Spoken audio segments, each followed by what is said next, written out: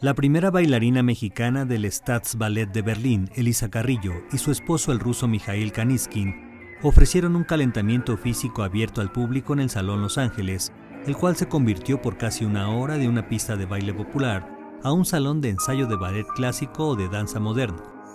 50 niños y jóvenes se dieron cita en el lugar con sus mallas, leotardos y zapatillas. Las promesas del ballet disfrutaron de la preparación que les dieron los dos bailarines. Es un lugar diferente para la danza.